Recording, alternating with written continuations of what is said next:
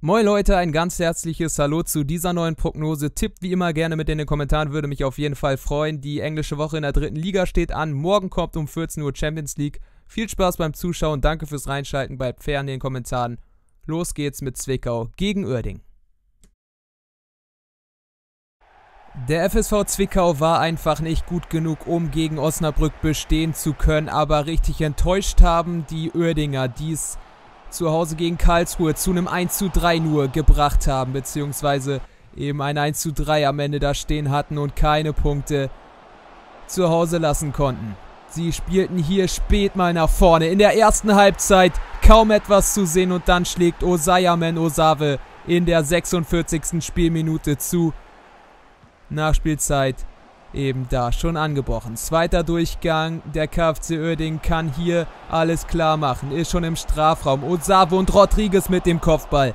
Nickt das Ding aber nicht ein, sondern drüber. Dann passierte lange nichts und der FSV Zwickau hatte kaum noch Hoffnung, bis dann die Schlussphase anbrach. Dann hatten sie nämlich nochmal Lust zu spielen und sie schlugen auch zu. 79. Minute, plötzlich stand es 1 zu 1. Katalis mit dem Ausgleichstreffer. Benz, der Vollert-Vertreter, konnte nicht mehr rankommen. Und die Schlussphase fast abgelaufen und trotzdem nochmal ein Treffer. Doppelpack von Alexandros Kertalis, der diesen Spielverlauf komplett auf den Kopf stellt. Am Ende gewinnt Zwickau und Uerding bleibt damit weiterhin sieglos im Jahr 2019. Fortuna Köln konnte in der letzten Spielminute, um genau zu sein, in der siebten Minute der Nachspielzeit noch 2 zu 1 gegen Lotte gewinnen. Gegen den Tabellenführer aus Osnabrück war es aber nicht unbedingt einfacher zu bestehen und das mussten sie ganz früh zu schmecken bekommen. Zwölfte Spielminute, Steffen Tigges nickt das Ding ein. Haider war verletzt, dafür Tigges von Beginn an dabei und der sorgte dann auch mit diesem Treffer für die Halbzeitführung. Ansonsten war nicht viel zu sehen. Osnabrück stand defensiv gut und brachte vorne die ein oder andere Spitze auf den Kasten. Zweiter Durchgang, Flanke von Alvarez, zweiter Pfosten, Benjamin Gürt zum 2 zu 0. 57. Minute und das war schon sowas wie die Vorentscheidung. Gürt, der gegen Zwickau gar nicht zum Einsatz kam, nur auf der Bank saß, konnte hier den zweiten Treffer erzielen. Und jetzt war die Möglichkeit da, alles klar zu machen. Tafatofa, Blacher im Zusammenspiel und Gürt ans Aluminium. Das 3-0 wäre auch etwas zu happig gewesen. Stattdessen Nachspielzeit nochmal Fortuna Köln. Die können ja spät zuschlagen und machen das hier. Erste Minute der Nachspielzeit. Tamdi Damani sein fünftes Saisontor, aber am Ende langt es zu nichts mehr als zur Ergebniskosmetik. Der Tabellenführer aus Niedersachsen bleibt weiterhin erfolgreich und Fortuna Köln muss die nächste Niederlage nach dem 2 zu 1 in Lotte hinnehmen. Der SV Meppen ist nach wie vor in der Rückrunde überragend drauf. Jetzt auch noch unter Haching im Altenbauer Sportpark geschlagen. Gegen die Würzburger Kickers wurde es aber auch nicht einfacher. Trotzdem hatten sie hier die erste Möglichkeit. Nick Proschwitz in der 14. Spielminute bringt den zwei Ball zwar in Richtung des Tores, aber gefährlich wurde es für Dreves dort nicht. Über eine halbe Stunde schon gespielt, jetzt auch mal die Würzburger Kickers aktiv. Zuletzt 2 zu 2 gegen Braunschweig. Baumann schießt hier auch mal drauf, aber das wurde nicht wirklich gefährlich. Aber die Würzburger Kickers blieben dran. Zweiter Durchgang. Starke Flanke von Kaufmann und Orhan Ademi. Stich zu. Zehntes Saisontor. Genau eine Stunde gespielt und die Gäste waren in Führung. Doch sie führten auch schon in Braunschweig zweimal am Ende. Wie gesagt, dieses Remi. Und Meppen drehte jetzt zum Schluss nochmal auf. Keine 20 Minuten mehr zu spielen. Dreves, schöne Parade hält das 0 zu 1, beziehungsweise das 1 zu 0 erstmal fest. Das hätte es in der Szene schon sein können. Aber Meppen, die stärkste Rückrundenmannschaft, blieb weiter dran. Piosek auf Nick Proschwitz und da war der Treffer. Meppen wollte auf Biegen und Brechen nicht verlieren und schlugen dann in der letzten Minute der Nachspielzeit zu. Meppen erarbeitet sich hier, erkämpft sich und verdient sich vor allem dieses 1 zu 1 gegen Würzburg. Die sind natürlich vollkommen enttäuscht. Der TSV 1860 München konnte mal wieder gewinnen. 1 zu 0 in Wien Wiesbaden. Gar nicht mal so verkehrt dieses Resultat. Punktetechnisch sowieso extrem wertvoll. Die erste Möglichkeit gegen die Spielvereinigung Unterhaching gehörte Hier Sascha Mölders in der vierten Spielminute testet er direkt mal Königshofer, der seine Qualität unter Beweis stellen muss. Der hätte nämlich wunderbar unten rechts gepasst. Keine 10 Minuten gespielt und die Löwen hatten richtig Lust. Und Prinz Osei Owosu machte dann auch in der 9. Minute das 1 zu 0. Schöner Schuss und jetzt konnte sich Königshofer strecken, wie er wollte. Da kam er nicht mehr ran. Aber Unterhaching jetzt auch mal wie ein Spitzenteam nach vorne. Und so schlugen sie auch zu. 21. Minute, der Ausgleichstreffer. Und die Führung und die tolle Anfangsphase der Löwen dahin. Zweiter Durchgang, wieder starteten die Gastgeber besser in die Hälfte. Und Nico Kerger mit dem Treffer. 56.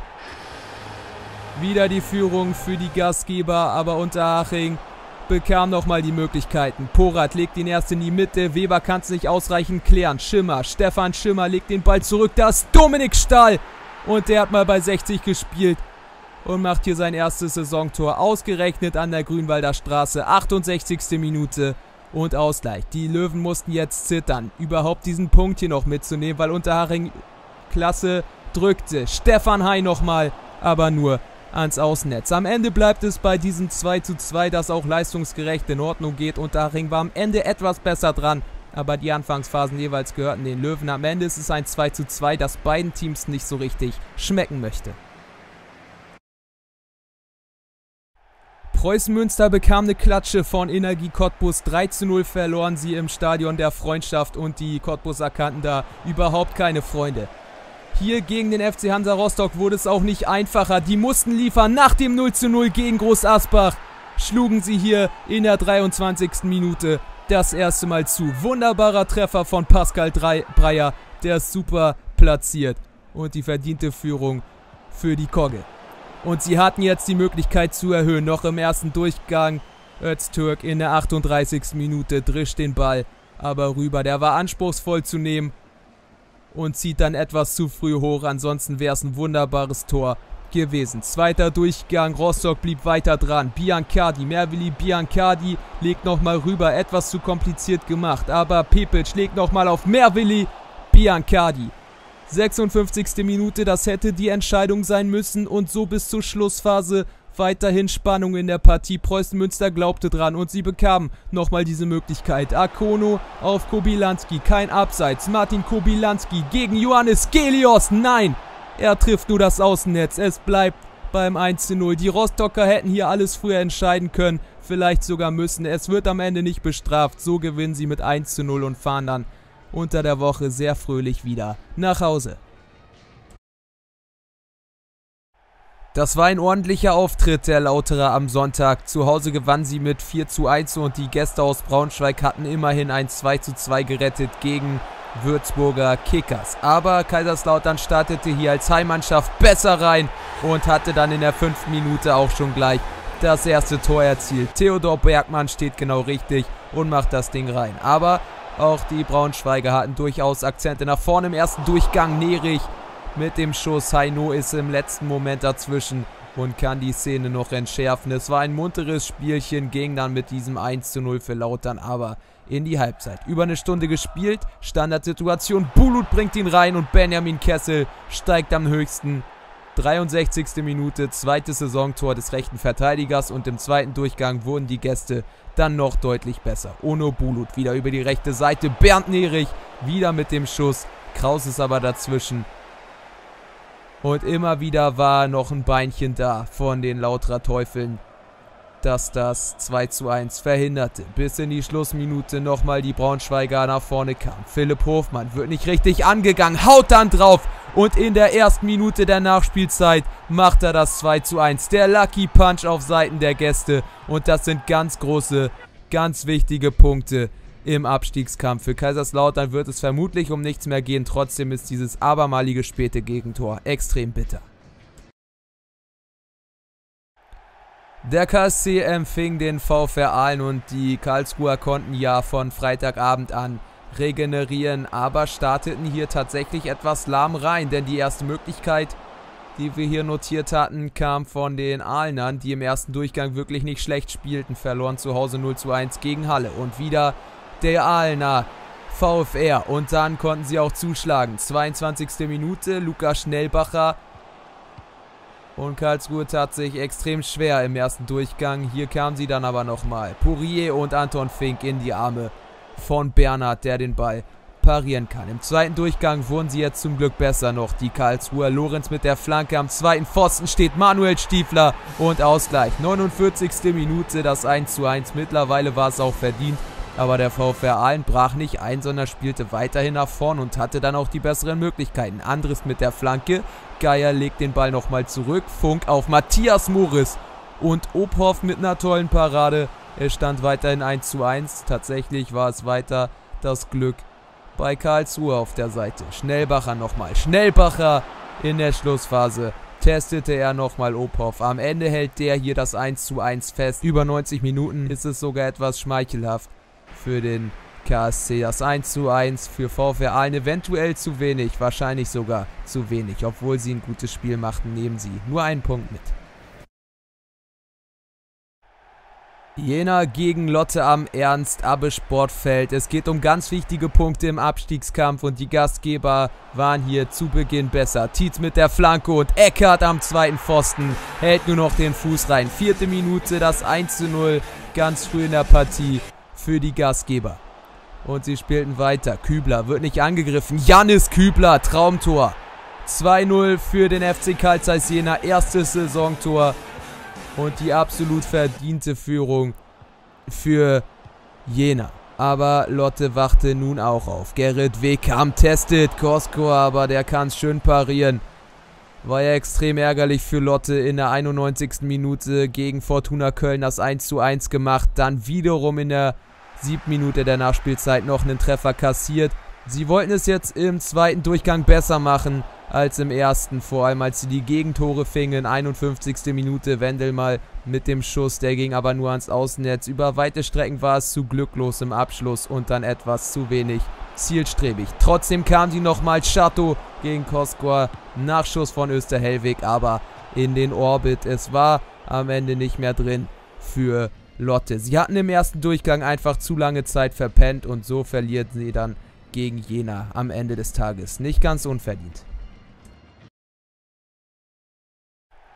Groß Asbach gegen Wien Wiesbaden in der Mechatronik Arena trafen diese beiden Teams aufeinander. Groß Asbach spielte mal wieder 0 zu 0, wie sie das gerne haben. Hier hatten sie aber früh die Möglichkeit in Führung zu gehen. Jan Jitsch gegen Kolke. In der fünften Spielminute hätten die Gastgeber schon in Führung gehen können. Glück für Wien Wiesbaden hier in der Anfangsphase, dass sie noch nicht in Rückstand gerieten. Aber auch die Gäste, klar, mit dem Zug nach vorne. Gül, schöner Pass und der kommt durch auf Daniel Kofi. Kiere. Neunte Minute, 1 zu 0 für die Gäste. Und damit war es mit dem 0 zu 0 dahin für Groß Asbach. So konnte es nicht zu Ende gehen. Und vor allem ging es nicht mal mit dem 0 zu 1 in die Pause. Sie erhöhten die Wiesbadener. Manuel Schäffler mit dem 2 zu 0 nickt das Ding oben rechts rein. Nichts zu halten für Broll, der gegen Rostock eine starke Partie an den Tag legte. Hier wurde er von seinen Hintermännern alleine gelassen. 53. Minute Scheffler mit dem 3 zu 0. Jetzt war spätestens alles entschieden. Groß Asbach versuchte sich nochmal an der Ergebniskosmetik und das machten sie dann auch ganz gut. Slatko Janic, 62. Minute zum 1 zu 3. Das war aber der Schlusspunkt in einer torreichen Partie. Am Ende sind es vier Treffer, ungerecht verteilt bzw. ungleichmäßig verteilt. Gerecht war es auf jeden Fall, dass Wien hier die drei Punkte mit nach Hause nimmt. Ein fantastischer Ostkracher im Erdgas-Sportpark zu Halle war Energie Cottbus zu Gast und die hatten 3-0 gegen Münster gewonnen am Samstag. Und Rangelow bringt hier Streli Mamba gleich mal in Position. Fünfte Minute, neuntes Saisontor für Mamba und die Gäste führten auf einmal. Halle ja als Aufstiegsaspirantin in die Partie gegangen, sah aber eher andersrum aus. Als wenn hier Streli Mamba zu der Mannschaft gehörte, die da oben ganz weit mitspielt und Halle eben im Abstiegskampf steckt, so wie eben Energie Cottbus das tut. Anfangsphase gerade vorbei, 20. Minute und es stand 0 zu 3. Nicht zu fassen. Nach Doppelpack Mamba Traumtor von Marcelo Freitas. Zweiter Durchgang. Björn Juppek kriegt keinen Zugriff beziehungsweise keinen Druck und die Energie Cottbus Verteidigung bekommt keinen Zugriff auf ihn.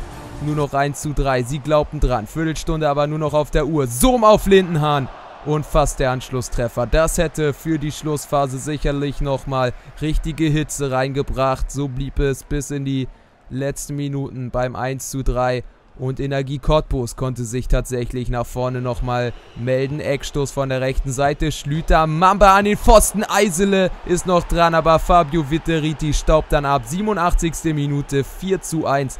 Das ist am Ende auch zu hoch. Halle hat aber nicht den besten Tag erwischt.